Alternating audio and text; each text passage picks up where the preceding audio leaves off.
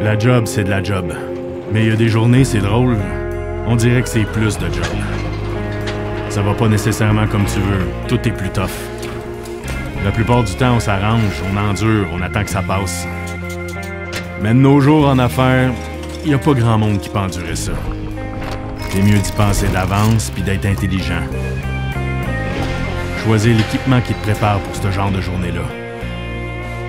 Tu le genre où tu te dis Hey, ils ont pensé à tout.